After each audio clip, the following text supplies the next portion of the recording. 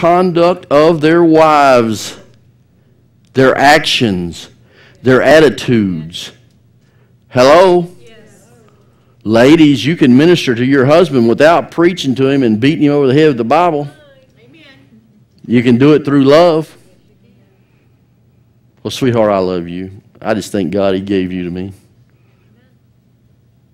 How you know trying to nag a man to go to church is not going to work probably 90% of the time because a man says, Bless God, I'm in control here. I'll do what I want to. I'll make my own decisions. And nagging him, he's like, Well, I'm just not going to go because she wants me to. Now, that's despite and that's terrible, but how many know a lot of men are that way because they want to be in charge? Even though they're really not. You women know that. But anyway, no, I'm just kidding. Look at this. When they observe your chaste conduct accompanied by fear, that's talking about reverence there, I didn't talk about fear. Do not let your adornment be merely outward. We're fixing getting some good stuff. You ready for this? Do not let your adornment be merely outward arranging the hair, wearing gold, or putting on fine apparel. How many of you know there's nothing wrong with nice clothes, nothing wrong with gold, there's nothing wrong with nice things? So what is he saying here? Don't let it be the thing you're concentrating on. What he's really saying too is don't try to impress people just because of the way you dress and the things that you have. Amen. I'll be honest with you, I've been around many, many people that is very wealthy, and most of them that are very wealthy you'd never know it. They don't flaunt it. They don't show it. Most of them are not wearing Rolexes and stuff, to be honest with you. They don't show it. They don't try to portray it. They're comfortable in who they are and what they have. They're not trying to be somebody. Truly, money will only show who you are. That's right. Money really only shows what kind of person you are. A good person do good things with money. A bad person do bad things with money. You know, if you're trying to impress somebody with your gold or with your automobile or with whatever, then you already got a problem. Amen? Amen. Said, but look at verse 4. Rather let it be the hidden person of the heart with the incorruptible, I love this, incorruptible beauty of a gentle and quiet spirit. What is the Lord like? It says, which is very precious in the sight of God. What's precious in the sight of God? Oh, a gentle and quiet spirit. Not a haughty, haughty, prideful, gentle, quiet spirit. You know, I tell you, I, I had the privilege and honor to meet Brother Kenneth Hagin a couple of times in my life. Actually, you guys, if you ever read any of his books, I'm sure some of you have, he talks sometimes about a real uh, a little red-headed lady that's a real prayer warrior. That was my wife's grandmother.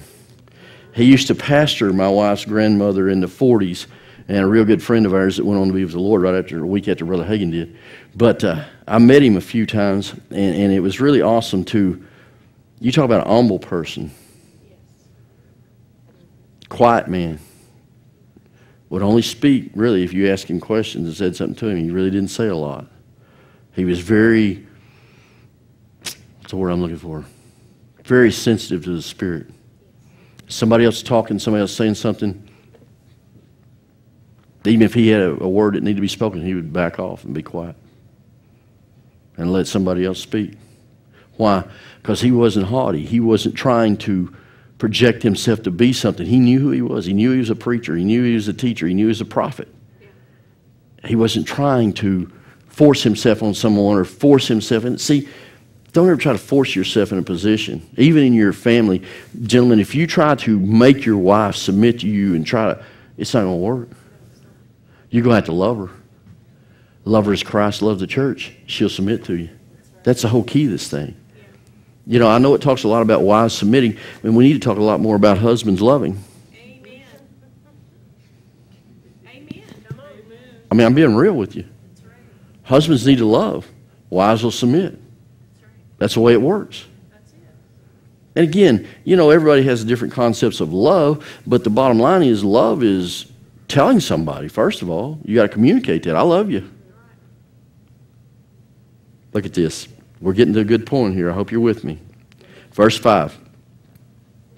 For in this manner, in former times, the holy women who trusted in God also adorned themselves, being submissive to their own husbands as Sarah obeyed Abraham, calling him Lord, whose daughters you are if you do good and are not afraid with any terror. Husbands likewise dwell with them, dwell with them with understanding, giving honor to the wife. Everybody say, honor your wife. And it says, as to the weaker vessel. It didn't say that the wife was a weaker vessel. It didn't say that at all. It says, as to the weaker vessel.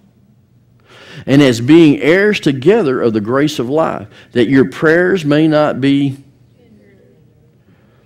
Husbands, if you don't honor your wife, it can literally hinder your prayers. Honor your wife. Cherish your wife.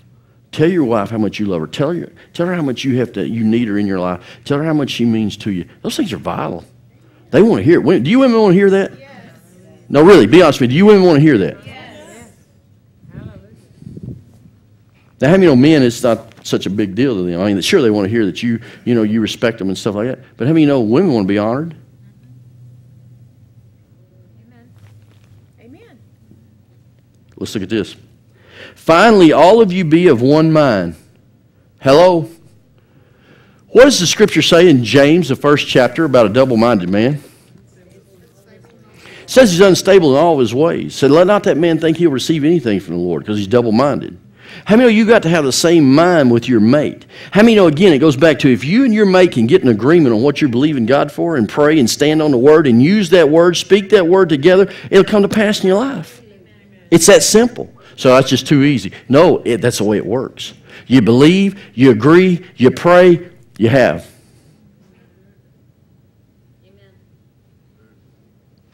Okay, here's a big question. How many of you as families pray together? See, that's one of the biggest, biggest things right there. That's one of the hardest things for men to do. I don't know why that is, but it's one of the hardest things for men to do is to pray with their wife and with their kids.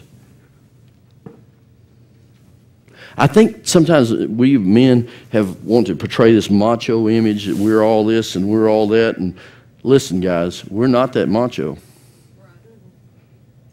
We need our wives. We need our families. We need prayer. We need to be able to agree together. We need to be able to believe God together because that's going to get us the results of the things we desire and we want. Now, how many you know there's more to it than saying than just saying I agree? How many know you have to agree in the spirit? You have to come to agreement where you sit down and say, okay, sweetheart, what are we believing for this month? This is what we're believing for. Let's write this down. Okay, what scripture, sweetheart, are we standing on? You know, what, what scriptures are we standing on? Because, see, the scriptures, the Word of God, the anointing's on the Word, and as you speak that Word and believe that Word, that's going to bring the anointing on the scene to bring to manifest whatever you believe in God for. So you got to say, what scriptures are we standing on, baby? What are we, what are, okay, we're agreeing here, yes, but okay, what are we going to stand on to see this manifest in our life? Habakkuk is a great, Habakkuk, the second chapter, verses 1 through 4. Talk about write the vision, make it plain.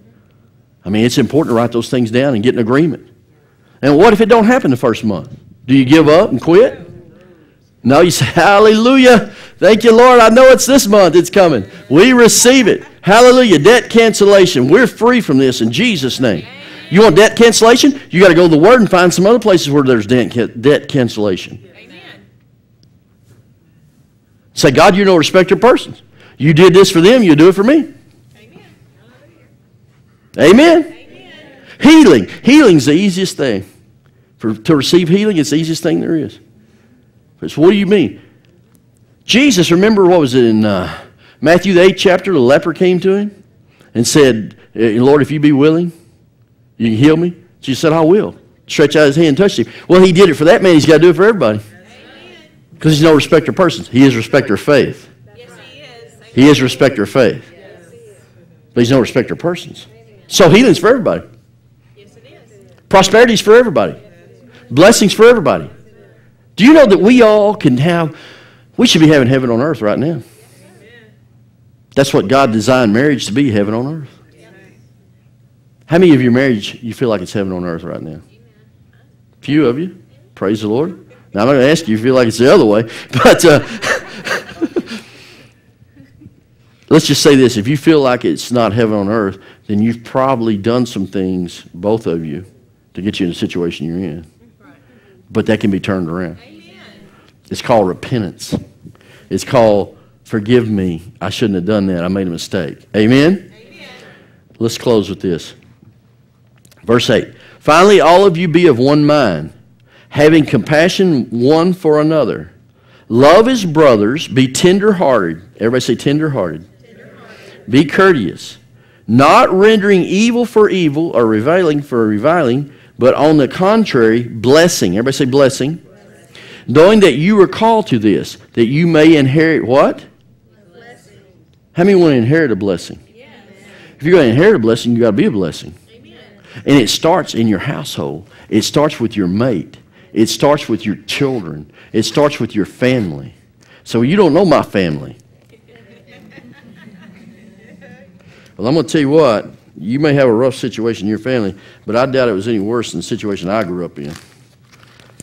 And after I got born again, my, my parents got born again. Thank God. We can be an example. And as believers, we need to be an example. Again, what is it? What, are, what is a marriage? What is it portraying? Christ loving the church. What you're saying as a husband, you don't know how Christ loves the church? Watch how I love my wife. Watch how I love my family. I'm going to show you how Christ loves the church. Amen.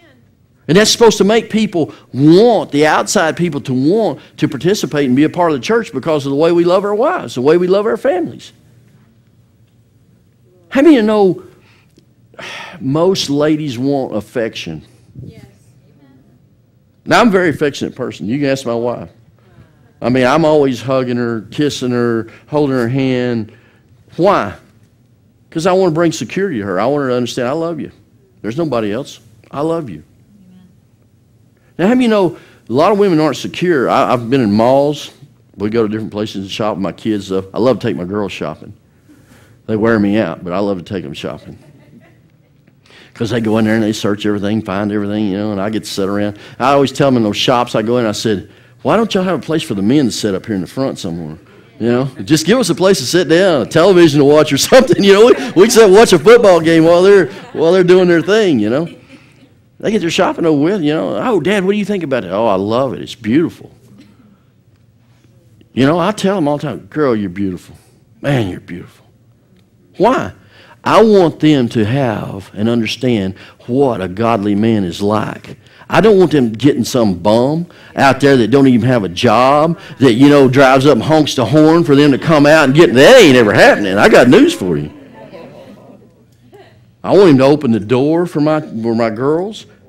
I want them to understand how a godly man operates and how he acts. Amen? Yeah. I don't want my kids hooked up with some flake. God knows there's plenty of them out there. And there's plenty of them that know how to play church. Well, you think about it. it. Gentlemen, if you were going to look for a wife, you going to go to a bar to find her? No. See, men can be wild and crazy, but when they get ready to find a, a lady that they want to really marry or something, they're going to come to the church. Well, those are the kind of people you got to be ready for. You got to make sure they got a relationship with Jesus, and they're not coming here just looking for something Amen. other than the Lord and a relationship with Him. Am I being honest with you? I know I'm talking some stuff to you here, but I'm being honest. I'm just trying to, to lay a foundation here where you can see some things. Guys, the thing is, we've come to a place right now, we're living in the end times. We're living in the last of the last days. You make a choice from this day forward. Where are you going with your family? Amen. You think there's been pressure? There's going to be more pressure. But it's nothing you can't handle. You walk in the faith, you walk in peace, you walk in love. And your relationship with your mate can grow stronger than it ever has. And then what's going to happen when people, they're